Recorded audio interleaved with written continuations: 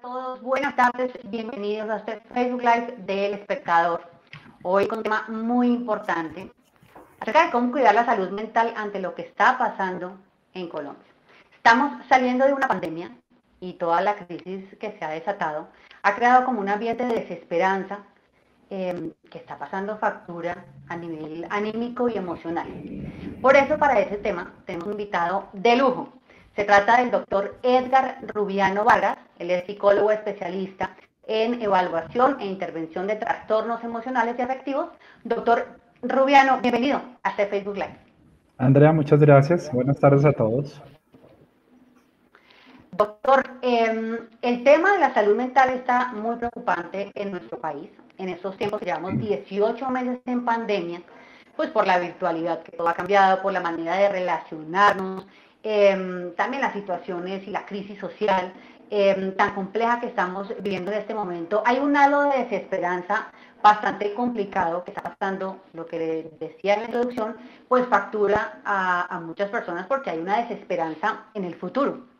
¿Cómo cuidar nuestra salud mental en estos tiempos em, donde la conectividad es casi que obligatoria?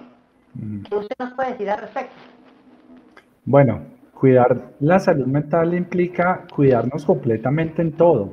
¿sí? La salud mental no, no es como un constructo por ahí alejado y aparte, sino e, es un todo. Entonces va desde alimentarnos bien, manejar buenos horarios, hacer actividad física, cosas que no son nuevas para las personas, que de una u otra forma eh, seguramente ya hemos escuchado, ¿sí? porque hemos ganado un poco de, de información últimamente acerca del tema de la salud mental.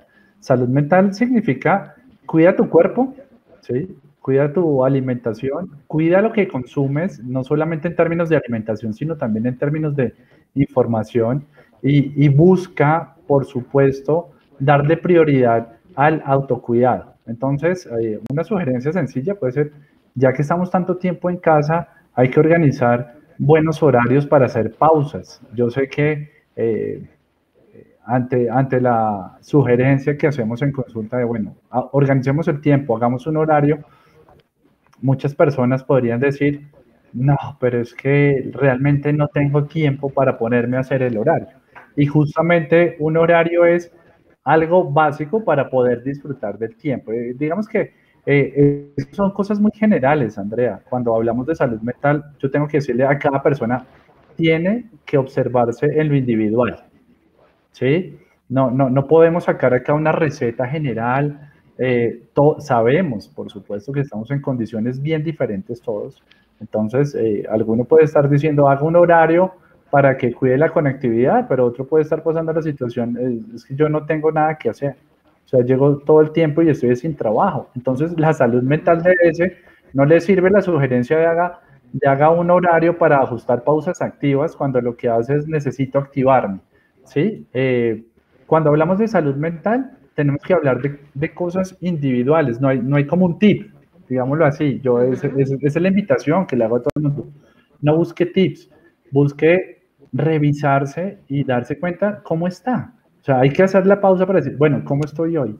¿Cómo me siento hoy? No, tengo muchas ganas de llorar, estoy muy irritable. Eh, todo me molesta.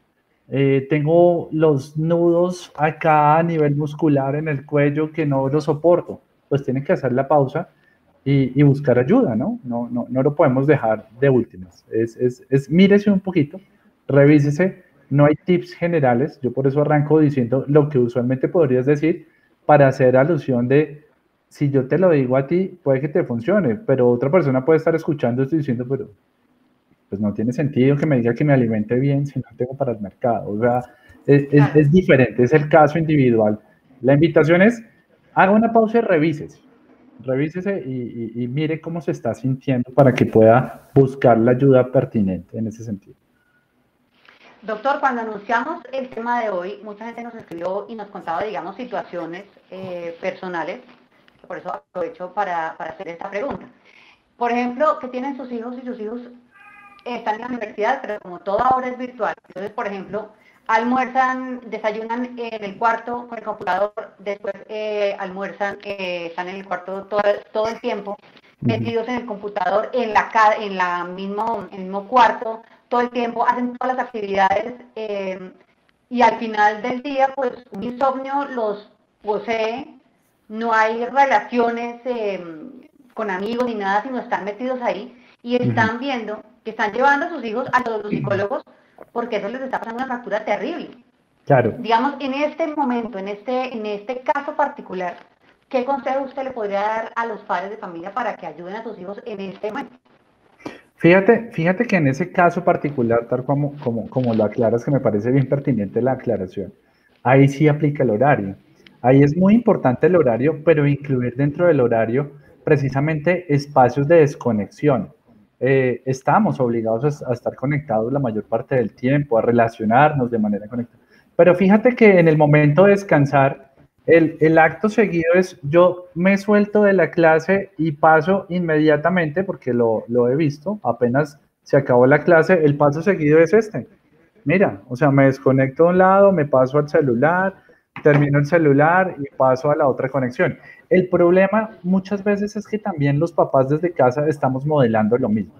Eh, el ejercicio arranca desde nosotros, ¿no? Los, los papás en casa somos líderes y tenemos que liderar y favorecer esos espacios. Entonces, sé que no es sencillo, porque no es sencillo, pero hay que hacer el esfuerzo, porque se trata de nuestra salud mental y como decía la campaña de salud mental del 2015, sin salud mental no hay salud. Así que ahí sí aplica el horario, con buenas pausas, con ojalá, mire, ojalá, yo siempre les digo a los chicos cuando estamos en clase, listo, desconexión, cinco minutos, por favor párese y asúmese a la ventana, si tiene balcón, salga al balcón, si tiene patio, salga al patio, que le dé un poquito de, aire, que le dé un poquito de sol, no lleve el celular, desconéctese un poco. Y es lo que insistimos también en casa, ¿no? Los momentos de desconexión es, bueno, listo, vamos a salir cuando uno habla del horario, no solamente está hablando de organizar el tiempo para el trabajo, eso es bien importante, eh, ni para los quehaceres de la casa, que a propósito, pues ya todos sabemos que sobreabundan, ¿no? Cuando estamos en casa eh, se incrementó esa tarea. Eh, el asunto es, en el horario también debe incluir espacios para el ocio, espacios para el descanso y elegir bien sobre todo esas actividades de ocio y de descanso. E, esa es la sugerencia, ¿no? Los momentos de comida, ya que están en casa, miren, yo entiendo porque también lo estoy viviendo, ¿no? A veces no nos coinciden los horarios, pero sí hay que esforzarnos por mantener ese, esa cita en la mesa y que nos obliguemos a esa cita mínimo una, una comida por día, pero mínimo una, donde hay una regla importantísima y es no puede haber dispositivos electrónicos acompañándonos porque es el momento para charlar un poquito, ¿no? Para contarle cómo estuvo mi día. Y ahí hago otro paréntesis, Andrea. Nosotros de papás mm, usualmente añoramos ese diálogo de los hijos, ¿no? Pero tenemos que entender que en ese espacio de, de la mesa lo importante es modelar la comunicación. Entonces, modelar la comunicación no es que me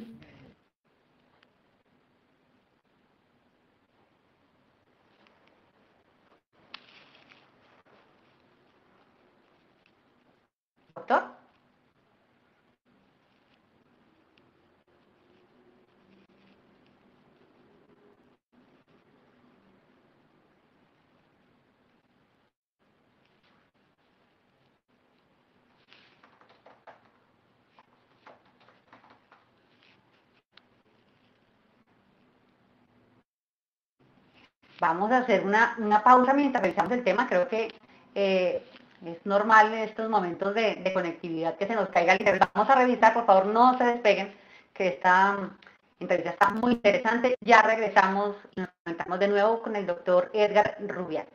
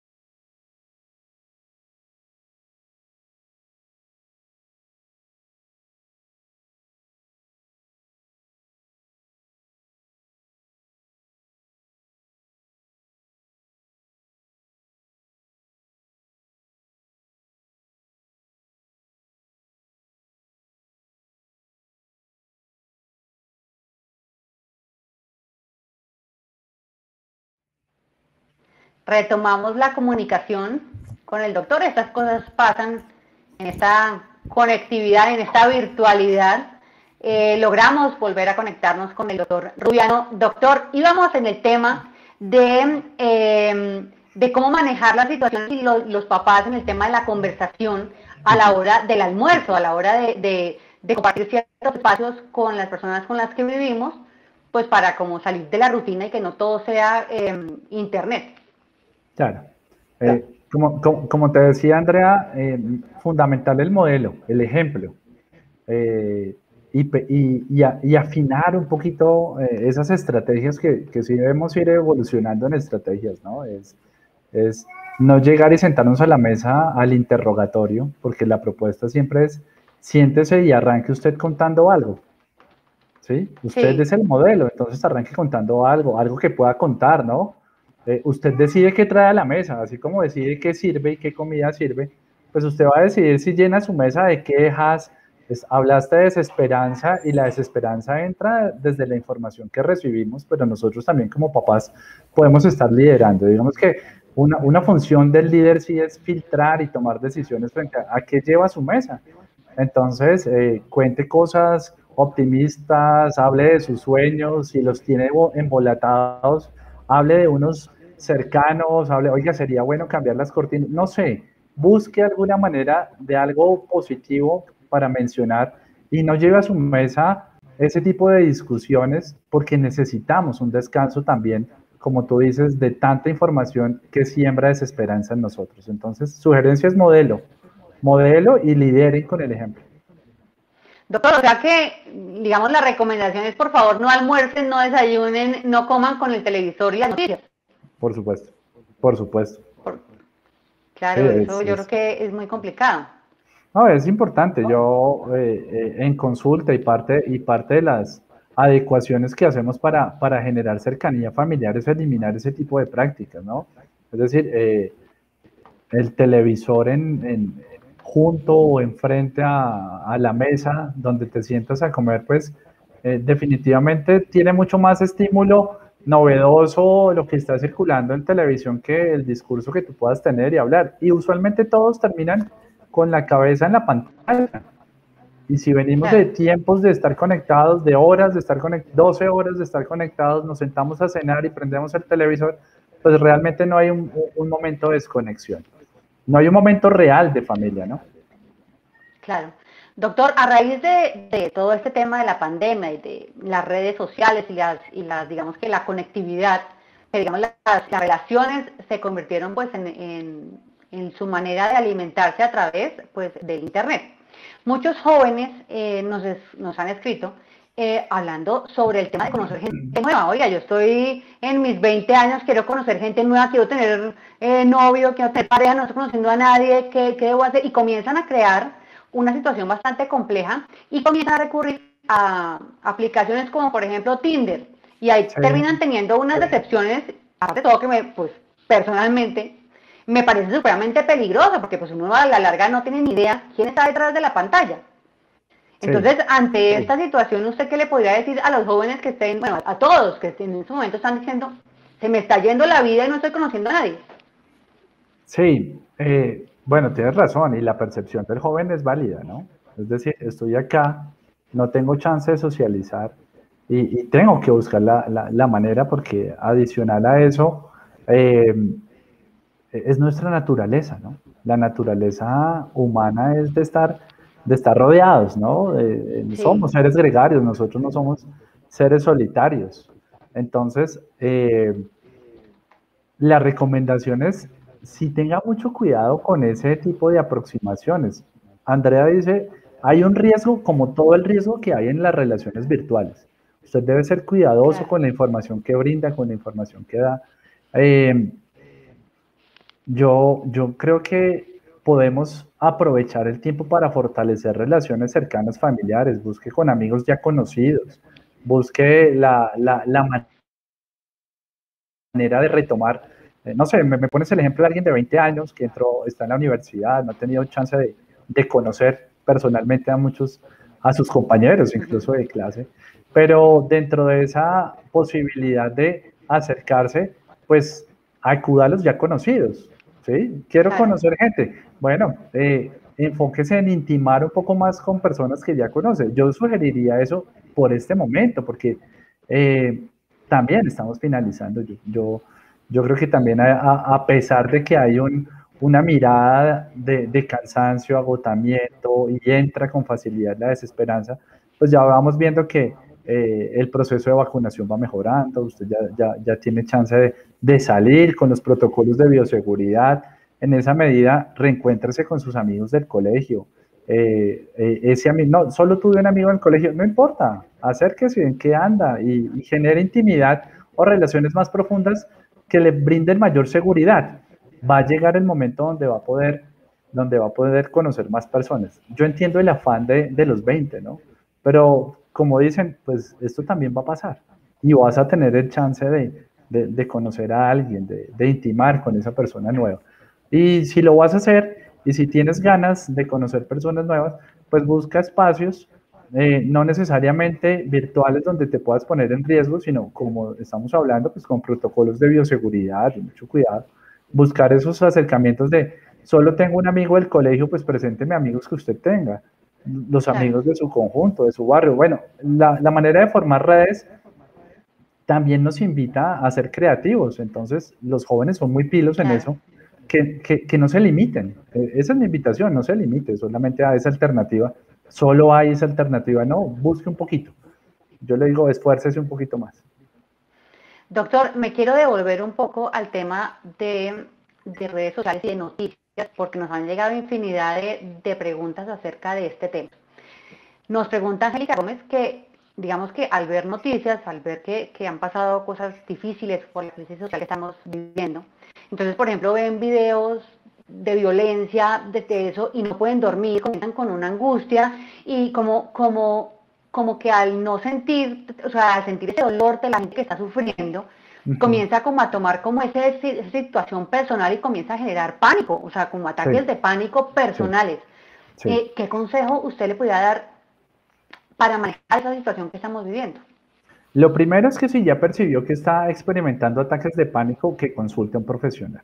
Es importante. Es decir, los ataques de pánico son un trastorno, ¿sí? hacen parte de los trastornos de ansiedad y de una u otra forma digamos que eh, aunque el ataque de pánico es común en nosotros, puede pasar y es frecuente, el que se vuelva repetitivo, pues ya lo puedes llevar a, nivel de trastorno. Entonces, eh, el, tema de la prevención es importante. Yo reconozco que no me estoy sintiendo bien, me estoy dando cuenta que no lo logro manejar muy bien. Pide ayuda profesional. Lo primero que tiene que hacer es pide una cita. O sea, pide una cita a través de su EPS, si puede pedirla directamente con psicología o con psiquiatría, hágalo.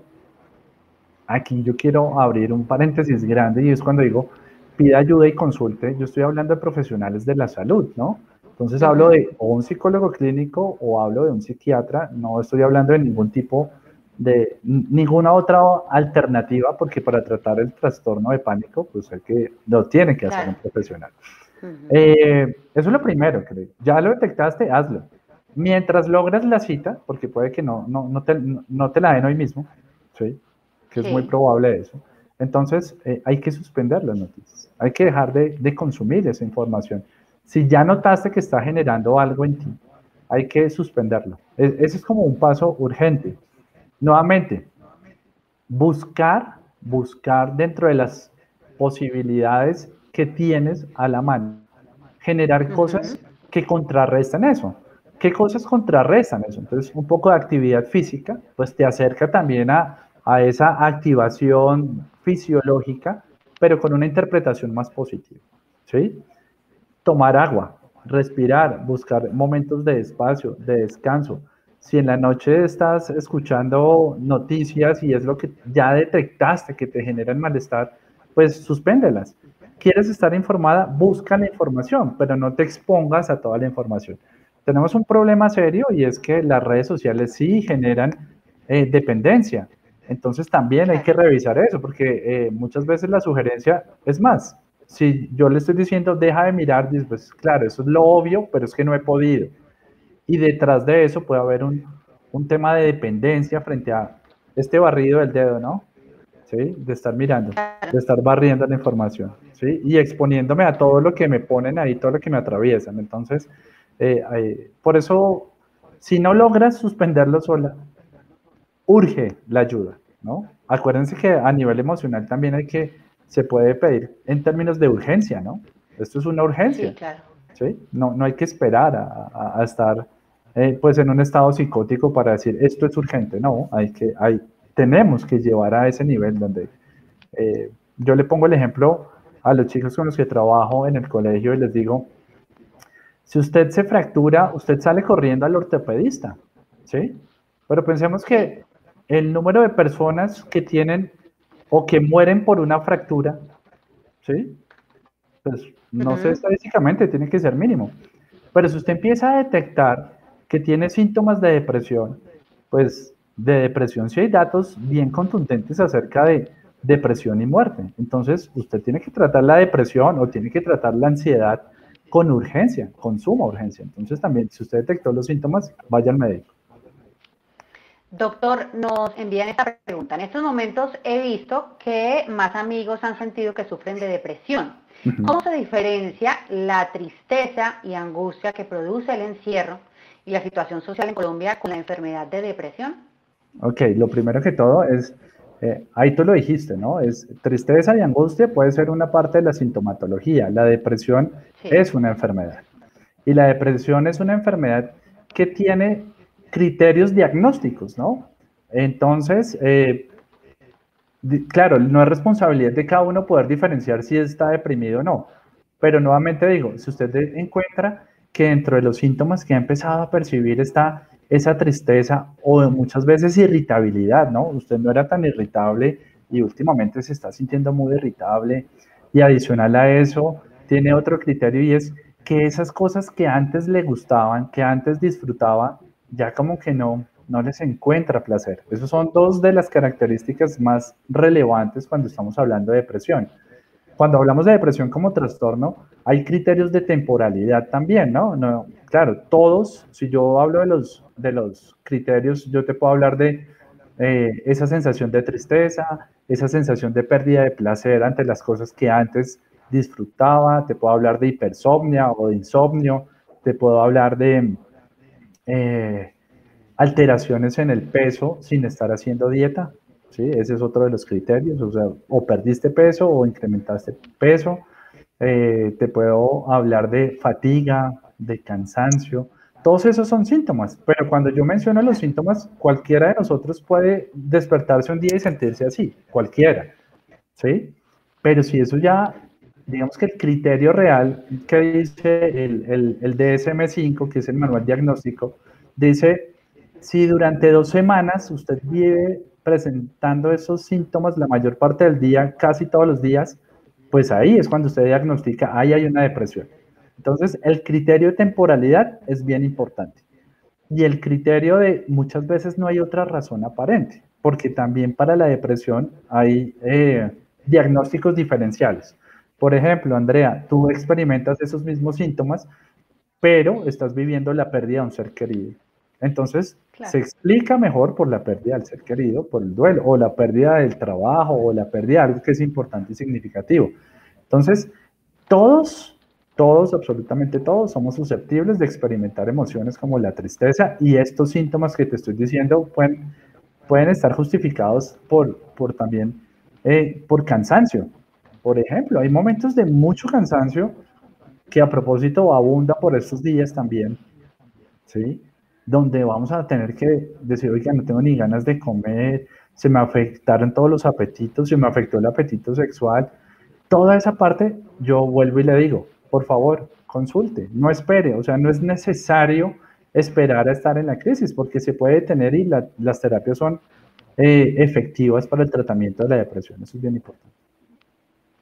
Doctor, nos están haciendo muchas preguntas acerca del insomnio, que a raíz de pues, estos 18 meses que llevamos de pandemia, básicamente muchas personas, el cambio más, más pues, visible ha sido el insomnio. Entonces me pregunta una mamá, una madre de familia, que si los medicamentos ansiolíticos eh, para dormir eh, son recomendables para los jóvenes. No, digamos que todos los medicamentos, en términos de ansiolíticos, medicamentos para dormir, medicamentos para controlar la depresión, tienen que ser prescritos por un psiquiatra, por un médico, ¿sí? Y deben responder a un diagnóstico previo, es decir, yo hago el diagnóstico y con base en eso determino si, si lo medico o no y determino el beneficio costo, ¿sí? Del tratamiento farmacológico. Entonces, eh, lo, lo, más importante de aclarar es que uno no puede ni decidir si se los empieza a tomar, si se los da y tampoco si se los retira. Y aclaro algo, el único que está en la facultad de, de, formular medicamentos, pues es el médico, ni siquiera los psicólogos, porque los psicólogos no tenemos una formación eh, eh, médica, ¿no? Entonces no, no, no tenemos la formación para abordar tratamientos farmacológicos. La invitación es de lo que te diga el psiquiatra. Si el psiquiatra te dice le conviene, le favorece, seguramente él ya evaluó beneficios y costos y con base en eso, pues hay que dárselo según lo que está diciendo el médico. Pero doctor, tengo una pregunta. Em, en estos últimos tiempos tengo varias personas conocidas que tienen a sus hijos, em, digamos que le están dando medicamentos, pero con una sola consulta. Es decir, van a consulta y de una vez tome su fórmula. Yo tengo una pregunta, no sé si, si es un poco descabellada, pero no hay, digamos, como en principio como un tratamiento como para trabajar en uno mismo y que el medicamento sea la última opción. Sí, definitivamente. Eh, si estamos hablando de trastornos de ansiedad, si estamos hablando de depresión, pues hay evidencia que respalda la psicoterapia como una terapia efectiva para tal fin. Es decir, eh, en términos de ansiedad, tú puedes ir a psicología y aprender. Yo manejo el enfoque conductual, digamos, todas las terapias tienen un, un fundamento científico, respaldado científicamente por investigaciones, y lo que hago pues es aplicar esos principios en consulta. Y hay efectividad, por supuesto que hay efectividad y no necesitas eh, tratamiento farmacológico. Yo debo entender que la salud mental o todo lo que tiene que ver con el comportamiento humano, pues tiene diferentes explicaciones. Entonces, si tú vas donde el médico, el médico tiene la explicación y se va a centrar precisamente todo componente biológico. Pero esa misma situación también puede ser explicada de manera conductual, ¿sí? O también lo explican de manera cognitiva. Entonces, ¿qué se ha encontrado? Pues que desde lo conductual hay efectividad de tratamiento sin que tengas que consumir medicamentos. Ahora, hay momentos Andrea, donde se aconseja combinar los dos tratamientos. Sí, realmente, es decir, yo puedo tener un consultante, estoy haciendo psicoterapia, pero a nivel de sintomatología está desbordado, se siente muy mal y le está costando trabajo eh, generar adherencia al tratamiento psicológico. Entonces se puede pedir apoyo y hacer un tratamiento combinado, farmacológico y psicoterapia. Siempre aconsejo que haya psicoterapia. ¿Por qué? porque los estudios demuestran, los estudios comparativos demuestran que cuando tú haces psicoterapia, previenes las recaídas. Digamos que el farmacológico en eso, aunque tiene efectividad en la disminución de los síntomas y la sintomatología, no necesariamente eh, es tan efectivo cuando se hace seguimiento a dos años, por ejemplo. A dos años puede haber más recaídas cuando se ha utilizado solamente el tratamiento farmacológico. Entonces la psicoterapia sí, y, puede y puede eh, tratarse eh, de, manera, de manera excluyente del tratamiento farmacológico. Pero en el momento en que a uno, por ejemplo, a un paciente le, dice, listo, esta es tu fórmula para que esté mejor, digamos, que ser para toda la vida? ¿O llega un momento en que no, es por un tiempo nomás, pasa la crisis y se la quitan? Depende del caso, ¿no? Digamos que si tenemos una, un trastorno afectivo bipolar, donde usualmente el tratamiento farmacológico es súper importante y debe consumir litio, ¿sí? Entonces, eh, eh, puede que ese medicamento en particular le digan, si usted juiciosito siempre, y los otros que le dieron para disminuir la crisis o un momento psicótico, pues sí se van retirando de manera progresiva, pero puede que quede uno de, por vida, ¿sí? Farmacológico, en, en, algunos casos, sobre todo en casos donde se presenta eh, digamos que muchos episodios psicóticos. El asunto, y creo que esa parte de la, de la farmacología pues no es mi área, pero seguramente un psiquiatra les diría, mire, usted se empieza a tomar el medicamento y la, el objetivo es irlo reduciendo con el tiempo. Va a haber de pronto uno, como te digo, que es el que mantenerlo. Doctor, en esa situación, en esta coyuntura, nos hace una pregunta, pero me parece eh, muy, muy inclusive que, que usted nos pudiera ayudar en esto.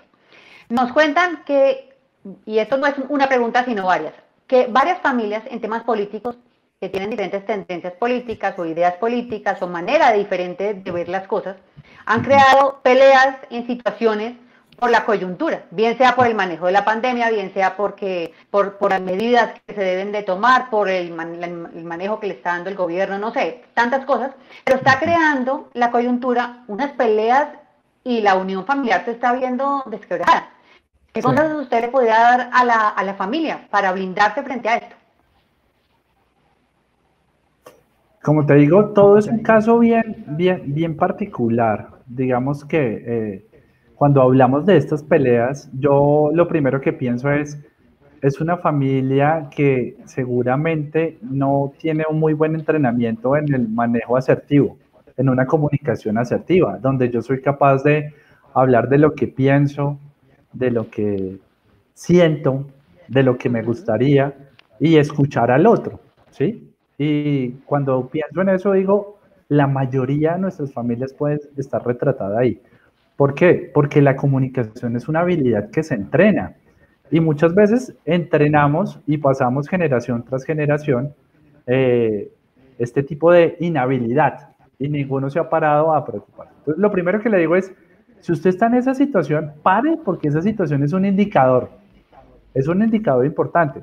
Claro, la coyuntura está exacerbando muchas cosas y saca a flote inhabilidades que tenemos. La invitación es, oiga, no hemos logrado comunicar, nosotros no podemos hablar de, de, de, equipos o de opiniones diferentes. Eso no ayuda a construir en la familia. Entonces, el problema sin negar lo que está sucediendo afuera, el problema no es afuera, Andrea. El problema es que lo que te sucedió o lo que le sucedió a la familia es un indicador para decir, oiga, paremos un momento. ¿Sí? Tenemos que parar. ¿Sí? Rápido, permita que las emociones se decanten, porque a propósito se decantan, y tenga cuidado de no seguir echándole gasolina a esa chispa que se prendió, sino pare, deje de echarle leña al fuego, como dicen ahí. ¿Qué es no echarle leña al fuego? frene la discusión, pero no se quede solamente con eso, entienda que ahí se, ahí se brotó algo, en, un síntoma de su familia y es, oiga, no podemos discutir y tenemos que generar la habilidad para discutir. Entonces, eh, lo que está sucediendo a nivel de pandemia, a nivel del país, esa coyuntura son, son precipitantes, pero pueden ayudarnos en la medida en que yo diga, oiga, como familia sí tenemos que mejorar, darnos cuenta, paremos, ¿cuál es el objetivo de? ¿Cuál es el objetivo de esta posición? Y sí, tienes razón, muchas veces he recibido en consulta esa queja, oye, no, estamos súper mal porque eh, mi papá piensa esto y yo no pienso esto y cómo se le ocurre, pero ambos están defendiendo de manera emocional su punto de vista. Entonces, lo que le digo ya, no importa la opinión, lo que lo que es claro es que no han desarrollado la habilidad de expresarse y hay que buscar conciliar ahí. Doctor, en nuestra época, digo nuestra época, los que nacimos en el 70 y 78 por ahí, digamos, eh, nunca, digamos, nunca nos hablaban, eh, por ejemplo, del propósito de, vida. ¿Cuál es tu propósito de vida? Y últimamente a muchos jóvenes, eh, como que los, los, están como, no sé, como preguntándole, cuestionándolos ¿Cuál es tu propósito de vida? Entonces, en medio, eh, digamos, en vez de generar esto algo positivo, les está generando un estrés porque, oiga, ¿cuál es mi propósito de vida? ¿Cuál es? ¿Cuál es? No lo encuentro, ya tengo 23 años, no lo encuentro, ¿qué voy a hacer? Y comienza a generar un, un, estrés. Ante eso, ¿usted qué nos puede decir? Pues lo primero que te digo es que es cierto, tal cual como tú lo estás diciendo, Andrea, eh, se ve mucho, ¿no? Eh, no, no necesariamente es que no lo habláramos en nuestra época, ¿no? Sí, efectivamente sí, el 78, ¿sí? Sino que en esa época tú lo hablabas y lo podías soltar.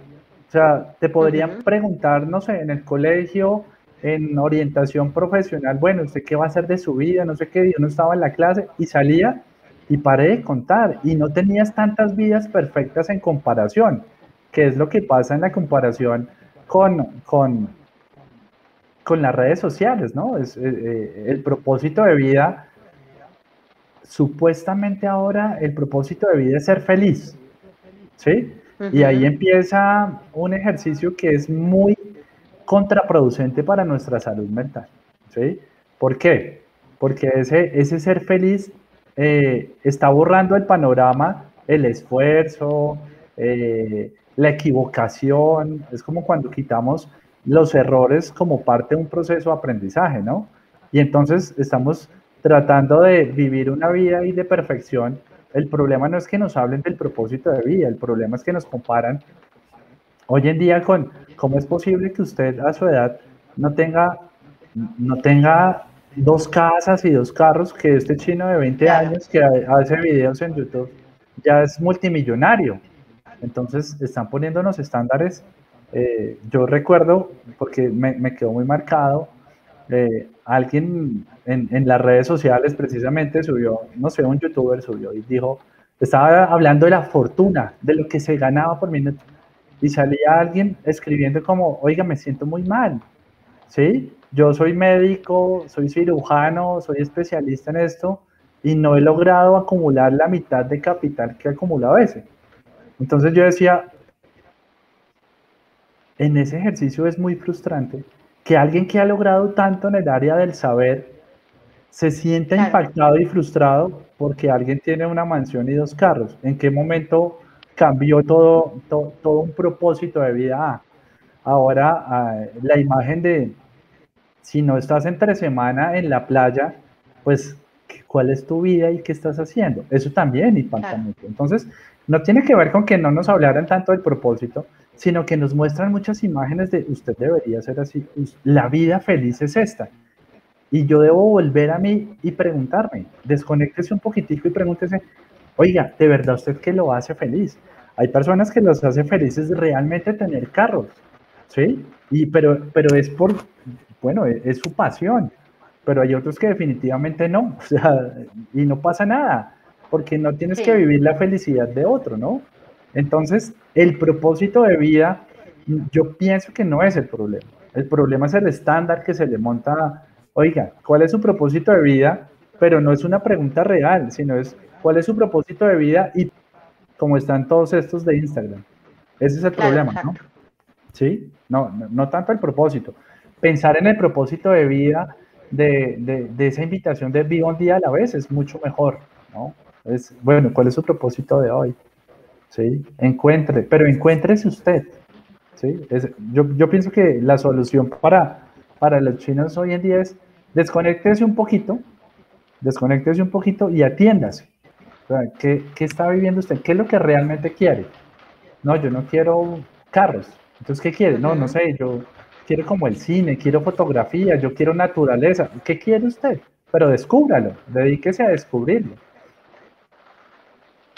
Doctor, frente a esto que habla de las redes sociales, yo quiero preguntarle algo que, nos acaban de preguntar em, acerca de cómo manejar el exceso de información y desinformación que se centra en las redes sociales. Es decir, digamos que yo quiero manejar y manejar poco a poco mis, mi información, de información, entonces digamos entro solamente a Facebook a ver, a ver las publicaciones de la gente conocida, por así decirlo. Pero ahí, hay publican videos, hay publican situaciones difíciles, pues publican toda clase de cosas de la, de la coyuntura que está viviendo, el número de, personas fallecidas por la pandemia. ¿Qué consejo usted nos puede dar para manejar ese exceso de información? Fíjate que va, va, a parecer reiterativo y reduccionista, pero yo diría, incluye en su horario el tiempo de exposición a las redes y limítelo. Limítelo. Miren, hay, hay, hay varios estudios que demuestran que la exposición a redes sociales afecta todo lo que tiene que ver con el centro dopaminérgico. Y eso es todo lo que tiene que ver con las adicciones. Entonces, usted no se va a dar cuenta, porque así funcionan las adicciones. Eh, hace, hace un tiempo vi un documental que me pareció buenísimo que se llama El Dilema de las Redes Sociales y yo se lo recomiendo a todo el mundo. Mírenlo. Ah, sí. Mírese ese documental con, ojalá, no cuando tiene sueño como por verlo, sino con el interés de qué hago para. El primer punto es darse cuenta. Hay una frase que me impacta mucho y dice, si usted está consumiendo algo que es gratis, tenga la plena seguridad que el producto es usted.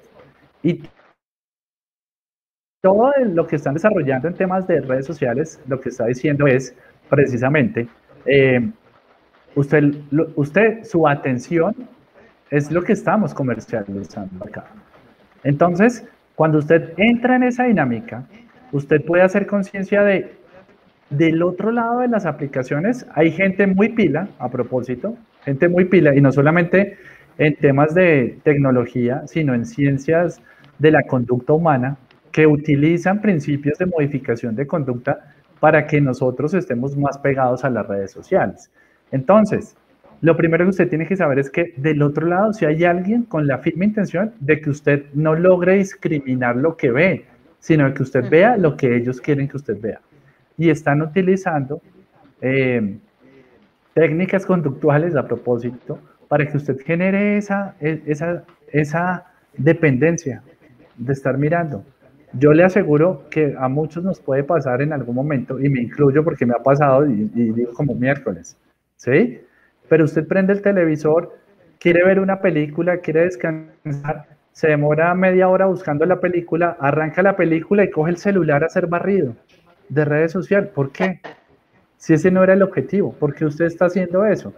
Entonces, la metodología muy clara es, póngale un horario y diga, bueno, voy a ver redes sociales media horita acá, si necesita poner alarma, no le dé pena, póngale alarma, póngale alarma y póngale restricción a eso. No, es que yo trabajo con las redes sociales, póngale un horario. O sea, póngale un horario y siga trabajando, pero sí va a necesitar ser consciente que del otro lado hay alguien que no quiere que usted logre ese control. Y recuerde que las dependencias generan pérdida de control conductual. Entonces hay que ser muy cuidadoso precisamente con eso. Primero, hacer conciencia. Segundo, intentar. Y si se da cuenta que no puede, bueno, pues miren, el consejo que, que ¿qué hacemos cuando no lo logramos? Pide ayuda a un profesional. Ese es el consejo. Pide ayuda a un profesional. Consulte. Doctor, frente a las noticias em, y los cuidados que hay que tener, eh, frente a la coyuntura, a la pandemia, a todas las situaciones que se nos están presentando ahora, eh, ¿cómo explicarle a los niños la situación que, por ejemplo, en este momento sienten miedo, por ejemplo, por, por enfermarse o por el contagio o porque han visto algo de noticias? ¿Cómo manejar esa, esa educación con los niños frente a lo que está pasando actualmente? Depende de la edad, Andrea. Va a depender mucho de la edad, ¿no? No, no, no puedes eh, la misma estrategia para el niño de 2, 3, 5 años, ¿sí? Que si el niño tiene 11 o 12. Y depende de la decisión que como adultos en casa ustedes tomen de qué están dispuestos a, a, orientar y acompañar. No se trata de, de, taparle los ojos a los niños, pero así como las películas y los videojuegos tienen clasificaciones, pues nosotros los adultos en la casa debemos clasificar la información que le damos a nuestros hijos, estar muy atentos de qué información tienen para eso tenemos que sacar tiempo nuevamente, mira, vuelve a aparecer el tema del tiempo y del horario, tenemos que sacar tiempo para escucharlos, para verlos, para decirles. Tú mencionaste algo, y es, y es más, más el impacto que en sí la noticia, ¿no? Porque las noticias del mundo siempre van a estar. Si tú prendes noticias y dejas que la noticia te aborde, pues vas a tener, no sé, dos horas de consumo de noticias donde el 80-90% no son alentadoras ni generan esperanza. Entonces, pues primero no veas noticias delante de los hijos. ¿sí? Dos horas de noticias a la hora del almuerzo no, no, no, no, no, no hace un buen match. Por eso te digo, el filtro lo pone uno, uno en casa. ¿Qué le dice a los niños? Primero escuche cómo se siente. No, no se vaya a la generalidad, ¿no? Porque muchas veces escuchamos, todos los jóvenes están deprimidos. No, no es cierto, no, no todos. Entonces tú tienes que mirar cómo está el de tu casa, ¿sí? Todos los niños están aburridísimos con la virtualidad. No, no es cierto. Averigua cómo está el de tu casa. El que te importa y en el que puedes controlar es el de tu casa. Entonces, bueno, ¿y tú cómo te has sentido? ¿Cómo te sientes? No, estoy cansado.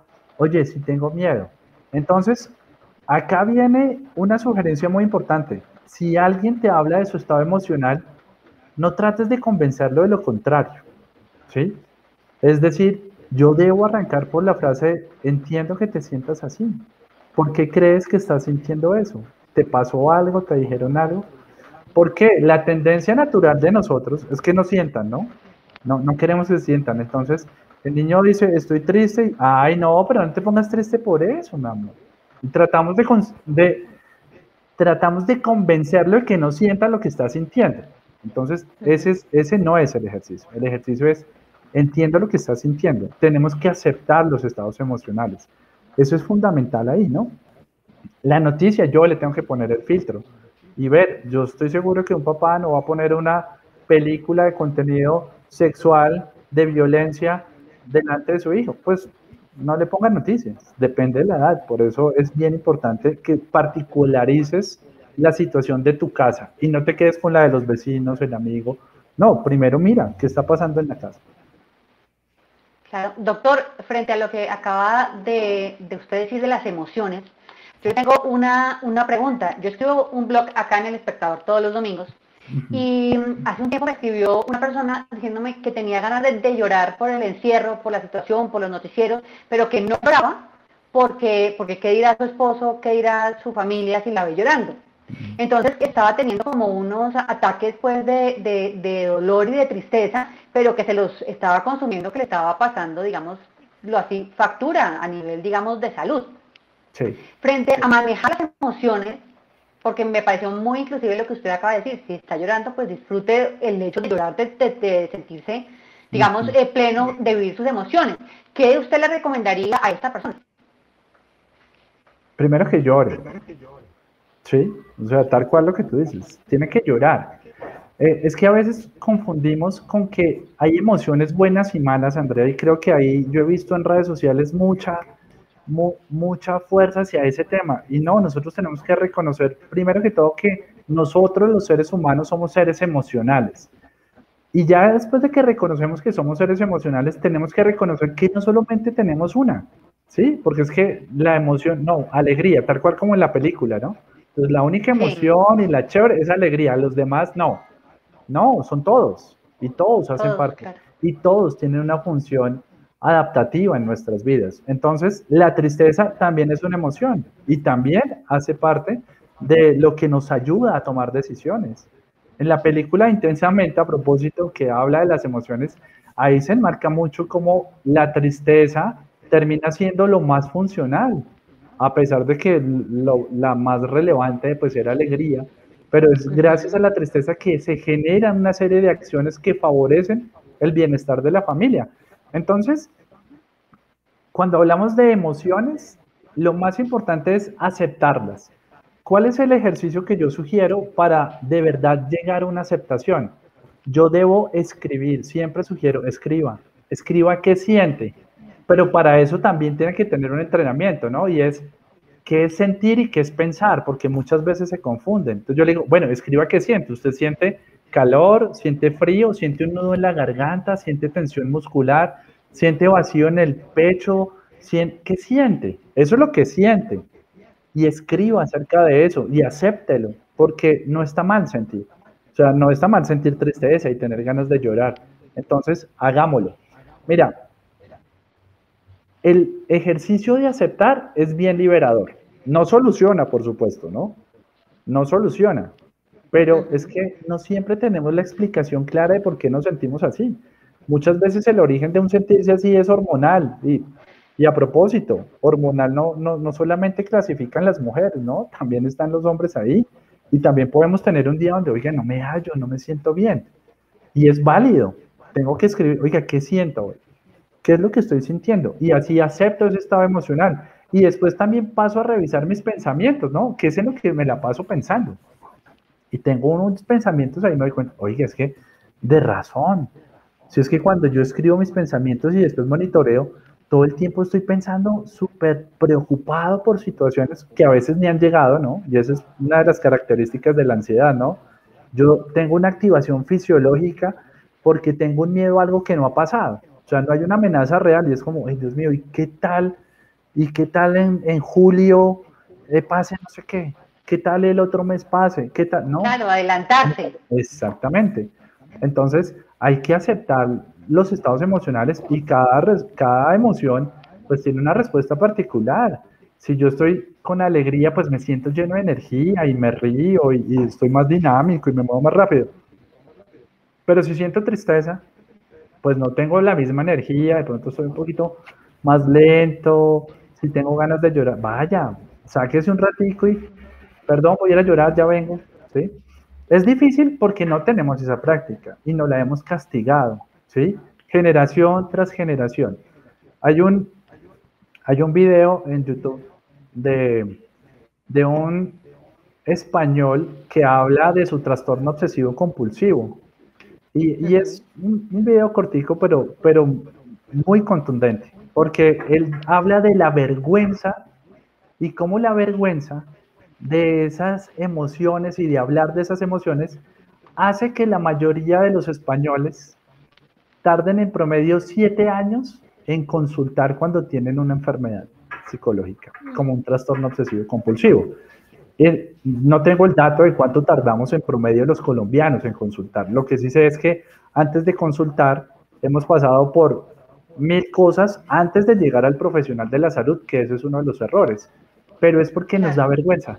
Nos da vergüenza llorar, nos da vergüenza hablar de que nos sentimos mal.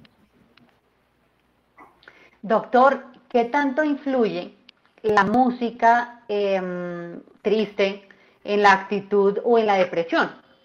A veces uno escucha en ciertas emisoras unas canciones de te fuiste, me dejaste, y uno dice después, ¿cierto? Uno dice después, me siento triste, pero pues no, no sé por qué. O sea, ¿influye realmente eso en el estado de ánimo?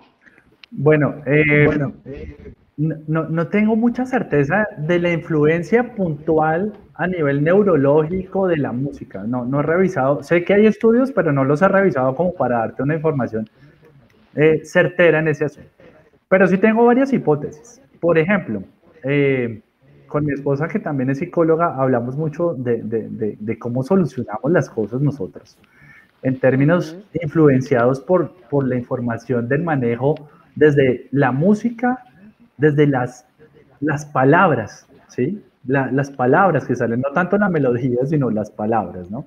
Entonces, eh, esas palabras nos dicen unas cosas que nos invitan a la dependencia, nos invitan a la tristeza, nos invitan a... Y, y, y no nos invitan a, a, gestionar eso de manera diferente, ¿no? Por ejemplo, eh, hay, hay, muchas expresiones, no sé, se me ocurre ahorita vivir sin aire, pero es una apología a la dependencia total, ¿no? O sea, si tú no estás, eh, toda, to, toda la música en términos de palabras es, es si tú no estás, si tú te vas, eh, no puedo vivir sin Es verdad.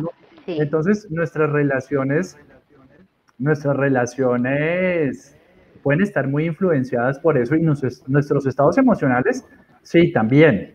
¿Sí es claro? Digamos que usted tiene que sentarse y hacer la prueba. A mí me gusta, me gusta que la gente pruebe. Yo, yo no, no, puedo decirle, a todos nos da tristeza la música triste, pero usted revise, a usted le pasa. Entonces, y, no a todo el mundo lo alegra de la música movidita, pero usted revise, a usted le pasa. Pues revísese, la invitación es esa. Yo sí creo que la letra tiene influencia en el comportamiento nuestro y, y nos, y nos direcciona y genera patrones de comportamiento que nos, nos favorecen. ¿No? Pero, pero yo creo que cada uno sí tiene que revisar su experiencia particular. Usted se siente triste, pone música triste y termina ese evento y está peor, pues no lo haga, ¿sí? Porque usted sí, lo está afectando. Pero otra persona no, a mí no me pasa nada, no, no, no, yo realmente no experimento. Ah, bueno, pues entonces usted no va a tener, no va a tener dificultad.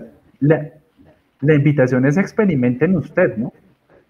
Esté atento a lo que usted vive, eh, porque, porque todos somos diferentes, aunque hay cosas generales, todos somos diferentes y podemos reaccionar diferente. Incluso puede que en un momento de mi vida yo escuchaba música triste y no me pasaba nada, pero esta, en esta época ya no, no estoy, que no me la aguanto, o sea, no, no me lo soporto.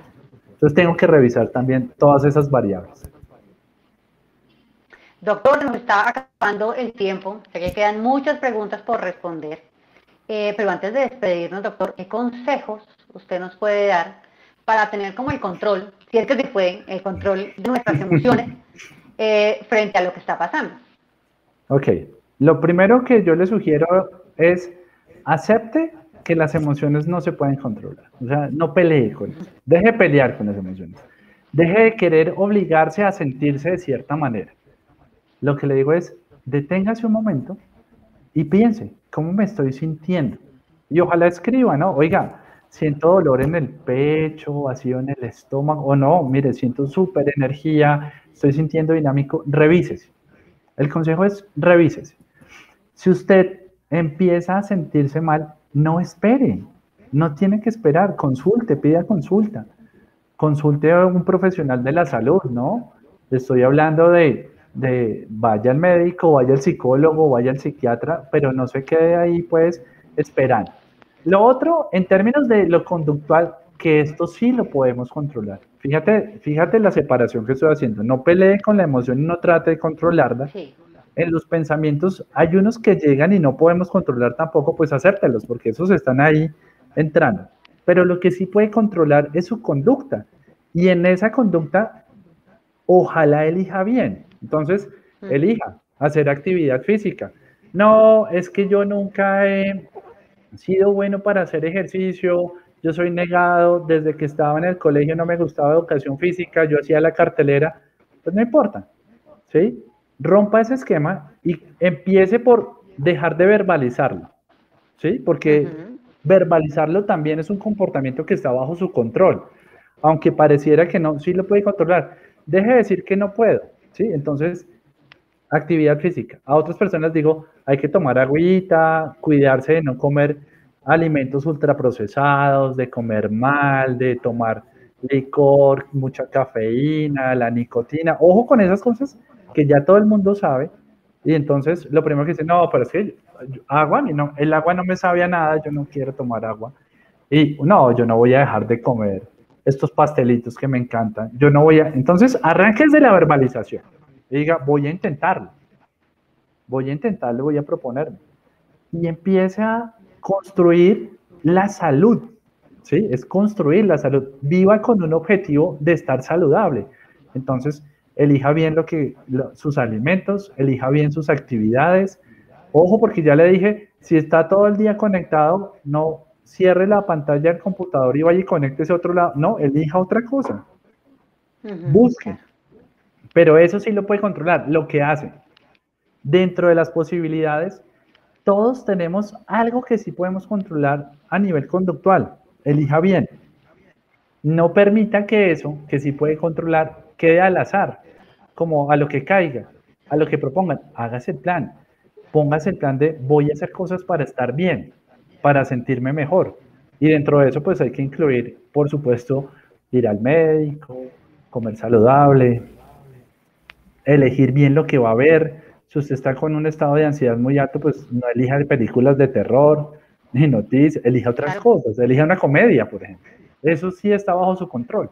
Entonces, eh, revise bien su ambiente y sus posibilidades y desde sus posibilidades elija qué sí puede hacer.